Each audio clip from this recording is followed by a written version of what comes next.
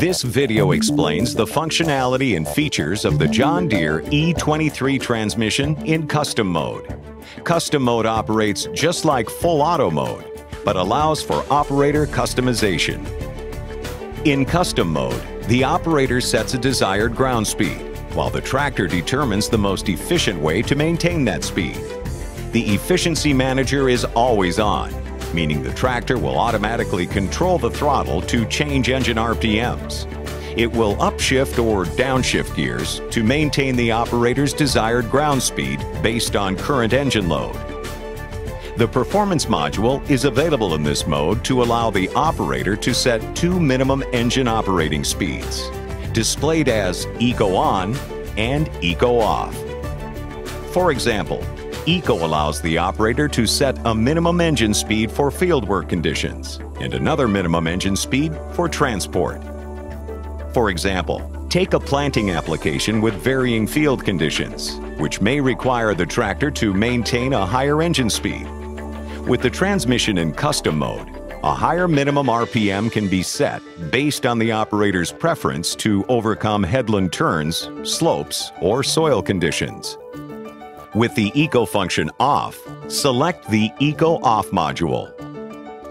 In this example, field conditions require a higher engine speed, so set the Eco Off to 1700 RPMs. Now, select the Eco Soft key to toggle Eco Performance on.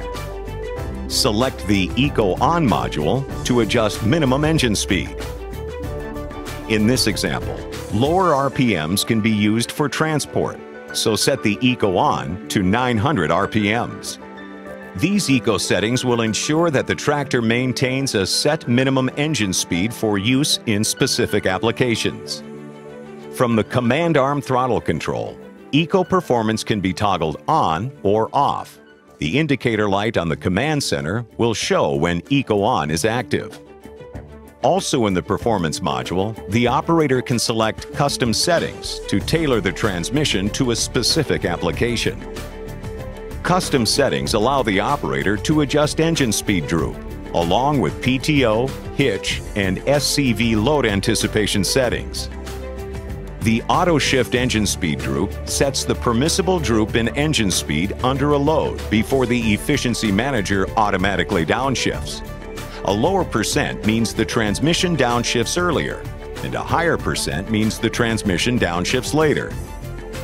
Different values may be entered for operation with either the PTO on or PTO off.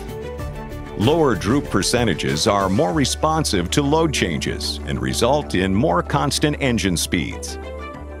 Higher droop percentages are less responsive to load changes and result in wider engine speed ranges.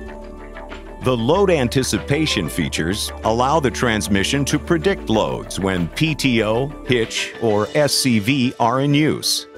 When these features are toggled on, load anticipation can both downshift the transmission and increase engine speed to maintain the operator's desired ground speed. In custom mode, the max speeds can be adjusted, and set speeds can be viewed on both the transmission and run pages although they can only be adjusted using the set speed adjusting wheel on the transmission control lever. Operators have the ability to set two separate programmable ground speeds in forward and reverse. These set speeds are activated by pushing the set speed buttons on the command arm. Since custom mode is speed-based, the set speeds function as they would in full auto mode. Additional John Deere videos are available on how to set up and operate the other transmission modes.